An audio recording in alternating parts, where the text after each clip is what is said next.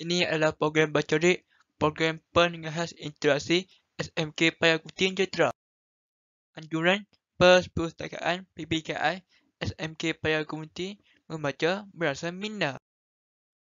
Hello, my name is Muhammad Izan bin Isdad. Hari ini saya ingin berkongsi cerita saya bertajuk Raja Yunan dan Dr. Ryan.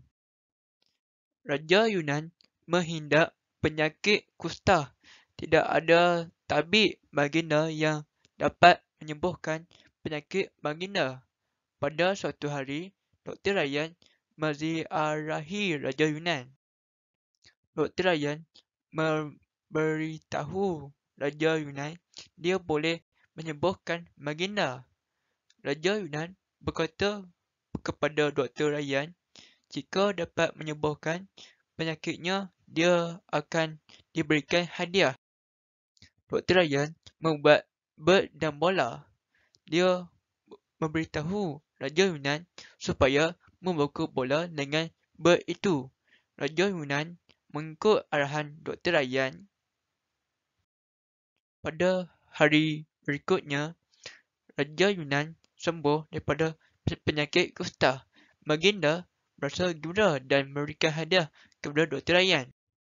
Wazir sangat cemburu kepada Dr. Ryan.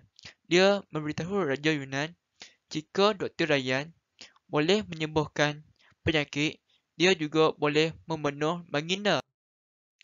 Raja Yunan berasa takut Baginda menunduh Dr. Ryan mahu membunuhnya. Oleh itu, Baginda hendak membunuh Dr. Ryan. Dr. Ryan meminta izin daripada Raja Yunan untuk pulang. Dia mahu memberikan Raja Yunan buku rahsia. Dia memberi buku itu kepada Raja Yunan. Muka-muka surat buku melekat Raja Yunan. Menjilat air liur untuk membuka muka-muka surat itu.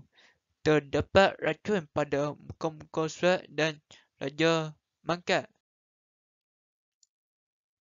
Nilai moral dalam cerita ini adalah kita perlu menghargai dan mengenang budi orang yang pernah menolong dengan kita. Sekian, terima kasih.